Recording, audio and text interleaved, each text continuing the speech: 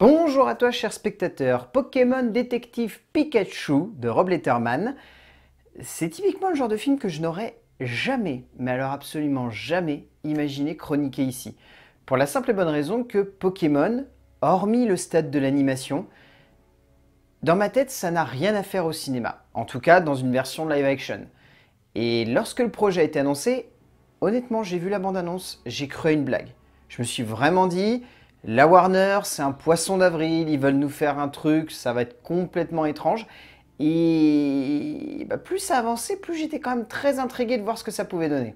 Le résumé pour faire simple, Tim est un jeune garçon qui a depuis longtemps délaissé l'idée de devenir un dresseur de Pokémon ou simplement de se lier à l'un d'entre eux. Mais lorsque son père va disparaître mystérieusement, celui-ci va se rendre à Rhyme City pour tenter de comprendre ce qu'il s'est passé. Et au bout du compte, c'est bon, voire même vraiment bon. Et ça, c'est bien au-delà de ce que je pouvais imaginer. Franchement, lorsque j'ai vu le projet au début, je suis vraiment resté coincé sur le fait que Pikachu parle. Et pour moi, c'était pas logique. Heureusement, dans le film, c'est complètement logique. Et je vous laisserai le découvrir pourquoi. Mais tout cela, ça me faisait peur.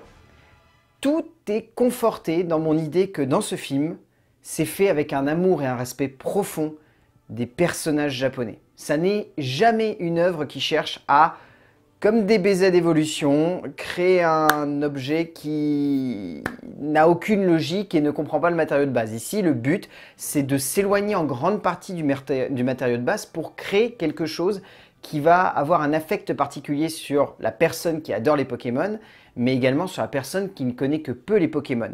Et c'est peut-être là que je trouve Rob Letterman a réussi à trouver le bon équilibre entre faire du fanservice et créer tout de même une œuvre un petit peu originale. Ça n'empêche que la balance penche plus souvent du côté du fanservice que vraiment de l'œuvre originale, mais on a une idée. On a une passion, on a un auteur qui y croit, et rien que pour ça, j'ai envie de sauver le projet parce que sur le papier, ça avait tout d'être une espèce d'arlésienne que tout le monde allait détester, comme ça. Il faut reconnaître que l'adaptation d'un objet culturel sur le grand écran est souvent une chose complexe, que peu d'auteurs ou de réalisateurs souhaitent acheminer, par peur de ne pas réussir à se mettre dans la poche les fans de l'objet originel, ou pire, de les décevoir et de risquer, comme ce cher James Wong, de se retrouver sans emploi. Mais Rob Letterman a donc choisi, après Cher de Poule, d'adapter à l'écran les aventures des personnages emblématiques de la télévision et du jeu vidéo pour un long métrage vraiment surprenant. Pas une œuvre sensationnelle ou grandiose, mais simplement un moment de cinéma vraiment entraînant et qui parviendra sans le moindre doute à convenir à toute la famille et à se mettre les fans des personnages dans la poche qui plus est. En termes d'écriture, c'est un bazar de vous résumer en gros l'écriture. Je vais essayer de faire simple. Donc c'est basé sur les personnages de Tajiri Shugimori Matsuda Nishiwada et c'est écrit donc par une idée de Hernandez, Samit et Perlman. C'est écrit donc par Benji Samit par Dan Hernandez, par Rob Letterman et par Derek Connolly.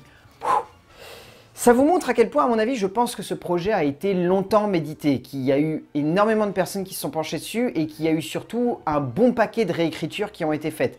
Parce que si j'ai bien compris, à la base, c'était, je crois, il y a eu trois ou quatre réalisateurs qui étaient sur le projet avant que ce soit Rob Letterman qui reprenne les commandes de celui-ci. Ce qui a conforté la Warner de prendre Rob Letterman, c'est les chairs de poule. Les chairs de poule qui étaient vraiment un mélange du groupe Sony et en même temps de Sony Animation.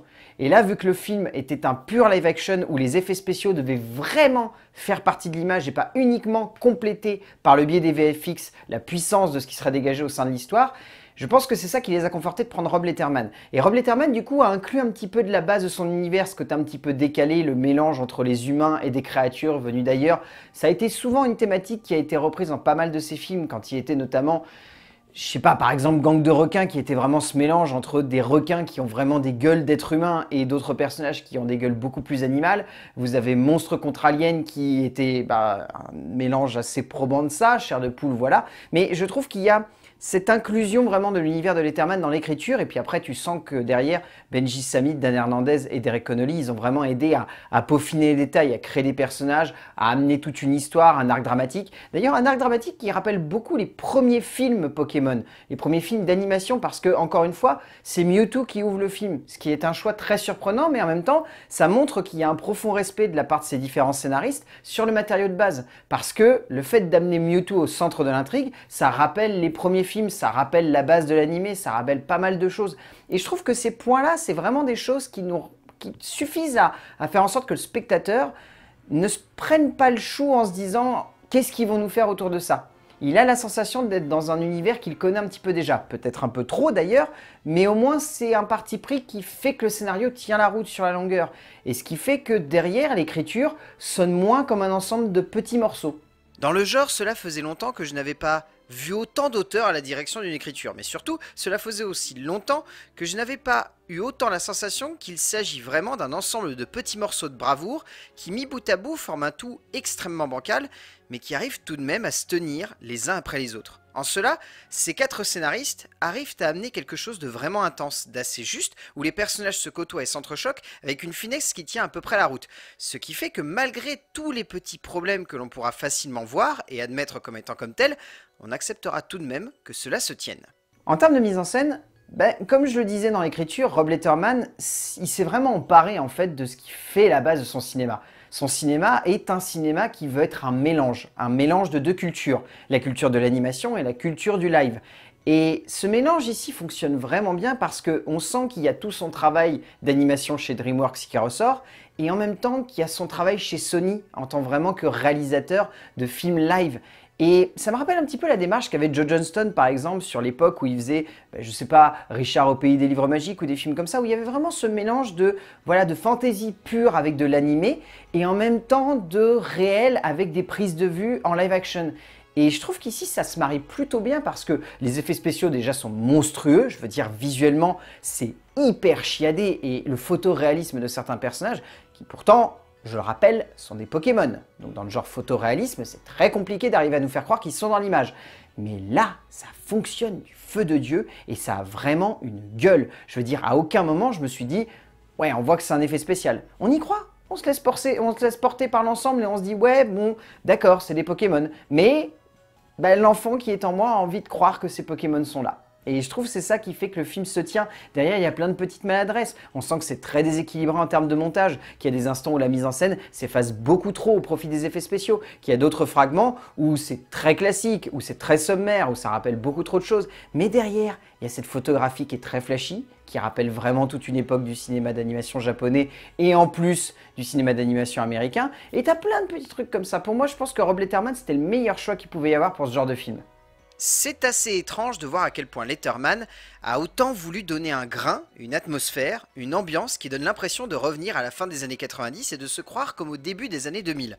Et en cela, le metteur en scène américain parvient tout de même à nous embarquer dans un délire. Certes, c'est un délire véritablement référencé et purement et simplement fait pour les quelques fans des personnages.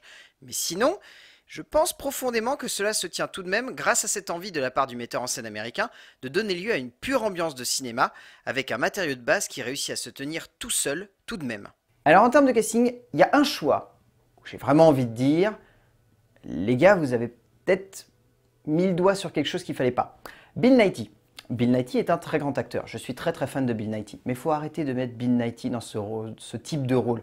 Parce que pour les quelques mecs qui ont vu High Frankenstein ou les Underworld, vous allez vraiment avoir un Roland de High Frankenstein et d'Underworld face à Détective Pikachu. Je ne vous dis pas pourquoi, mais vous le sentirez passer. Euh, il y a Catherine Newton, Ken Watanabe et Chris Gear qui fonctionnent vraiment bien. Je trouve que Suki Waterhouse a un personnage plutôt atypique qui est assez entraînant. Évidemment, il y a pas mal de doubleurs qui sont plutôt cool, notamment Koji Watanabe qui je trouve est très très bon dans la voix de Mewtwo. Mais faut bien avouer que le film se tient surtout par le biais des deux acteurs principaux, un en vrai et l'autre en doublage. Justice Smith est vraiment bon dans le rôle principal, même si par moments il joue un peu les idiots et les simplets de service, mais accompagné par la voix de Ryan Reynolds, les deux acteurs se tiennent vraiment bien ensemble. Au bout du compte, Pokémon Détective Pikachu, étonnamment, je suis le premier à être surpris de dire que c'est un bon film, voire même un bon divertissement. Après, je pense que il y en a pas mal, et ça ne m'étonnerait pas qu'ils vont dire que c'est un film très bancal. Cela, je les comprendrais complètement.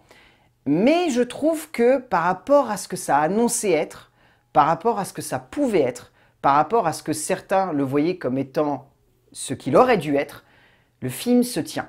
Le film a une ambiance, un esprit, un profond respect de l'animé, des cartes et des jeux vidéo. Et rien que pour ça, ma Pokémon Détective Pikachu de Rob Letterman, et eh ben je trouve que ça fonctionne et j'ai envie de vous pousser à aller le voir. Et petit point en plus, je pense vraiment que les familles, vous pouvez aller le voir ensemble, vous avez passé un bon moment. Juste, pas trop jeunes les enfants. Parce que l'histoire est quand même un petit peu compliquée. Je veux dire, il y a une vraie enquête policière derrière. Et voilà, juste ayez ça en tête. Mais sinon, allez-y. En famille, en plus, vous allez prendre un pied monumental, je pense. A plus